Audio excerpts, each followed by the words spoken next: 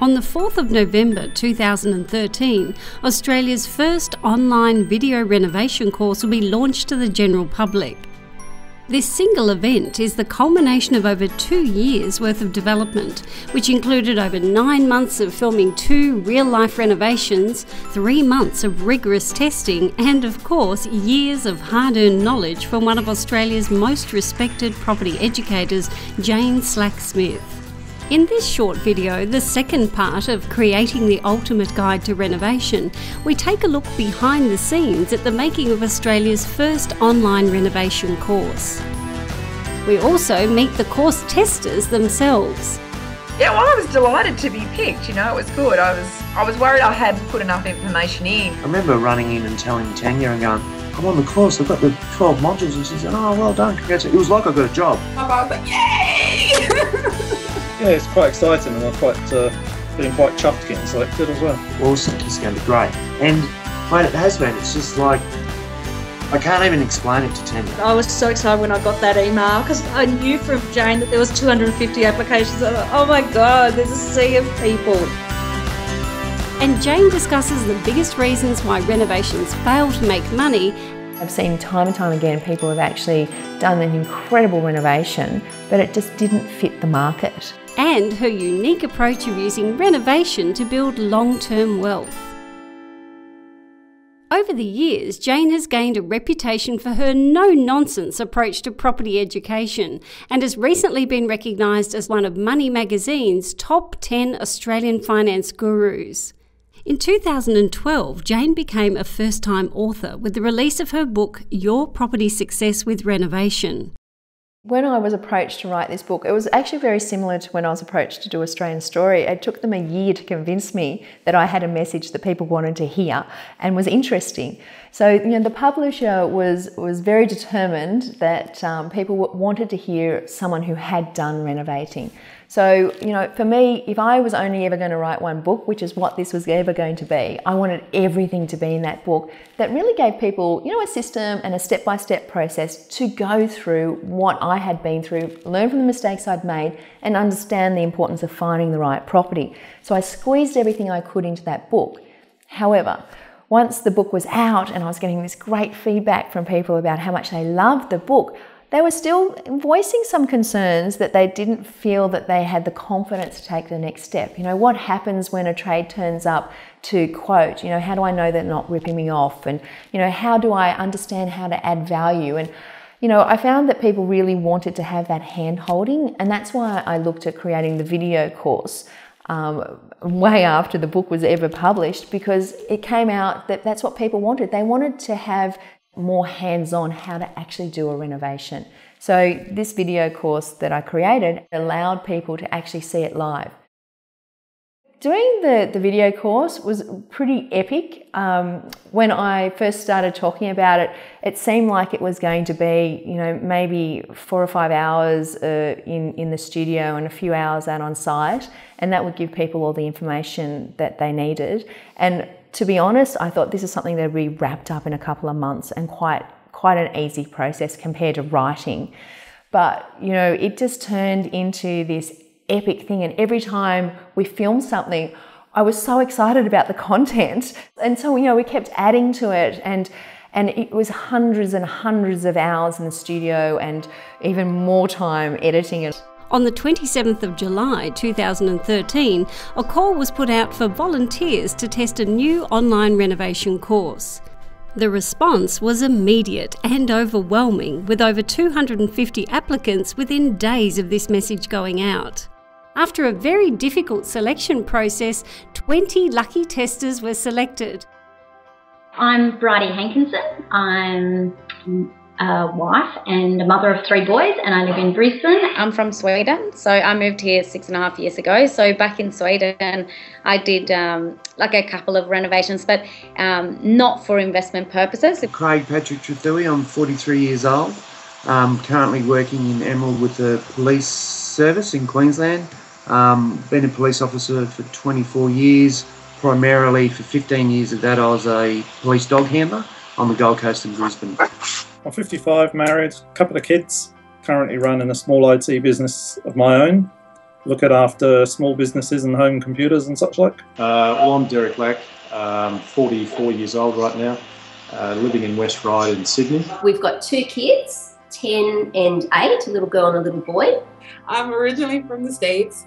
I've married an Australian, migrated here nine years ago. Steve Perich. I'm a uh, part time property investor, full time employee at the moment. I work at a freshwater research centre. I'm, I guess you'd call me a freshwater biologist. Did business business marketing in corporates and sort of project and consulting work. I'm a property valuer, so used to sort of looking going through the figures and doing all that. I've got my training assessors program. I thought I could probably give you that feedback. I mean, I work in banking, so I, I'm an IT person in banking.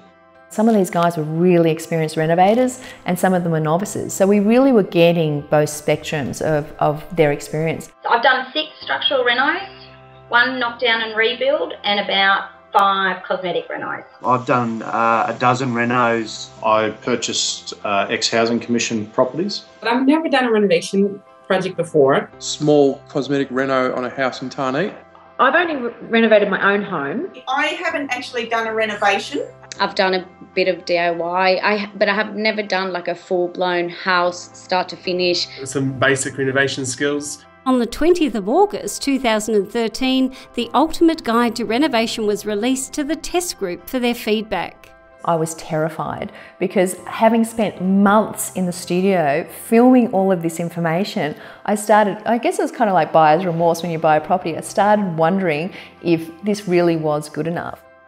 I have really blown myself away at what I didn't know. Probably highlighted what I was doing wrong. I guess I thought I knew about that sort of thing, but I didn't.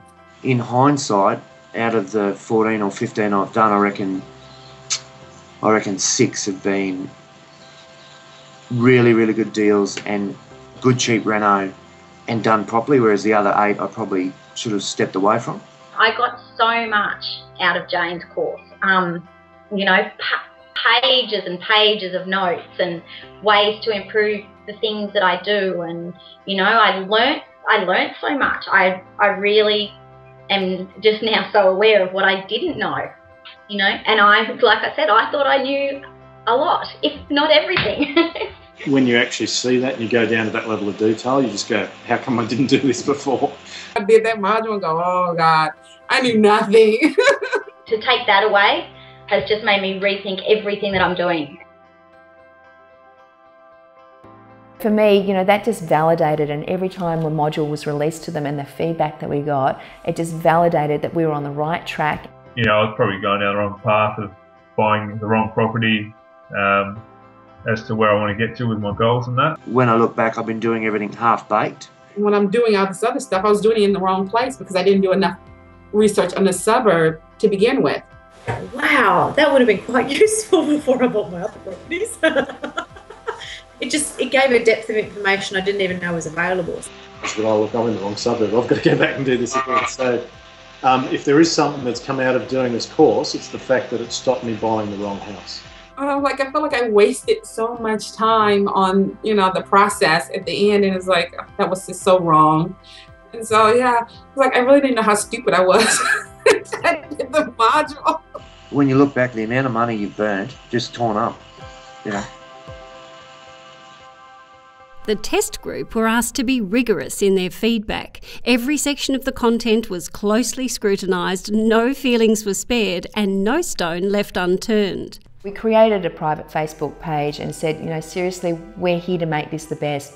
No holds barred. Give us all the information that you can so we can together make this a fantastic course. So, if you had at the beginning the explanation that says, okay, so these are the modules, this is what you're going to learn, we're going to take you through these steps, then we're going to move into actual renovation, then we're going to move into structural. Maybe even just calling it out that this is just a fly through at the start and then going into stuff in more, more detail, keeping chunks of material together rather than doing it in multiple places, I think would work a bit better. Yeah, look, it was really interesting when the beta testers came back with some of the information on how we could improve the course. You know, it kind of surprised me that I was so interested in the content. It- Some of the information came back that, you know, they felt that um, there could have been extra checklists for some of the things that we went through. Once that's all consistent and the bonus material is in like the actual hard stuff is there, it's going to be fantastic. I mean, in, in all honesty, that's an easy fix. You know, that's something where, you know, if you got that right. Because the quality of the information is far superior. I mean, that's just the bottom line the quality of the information, which is what you want.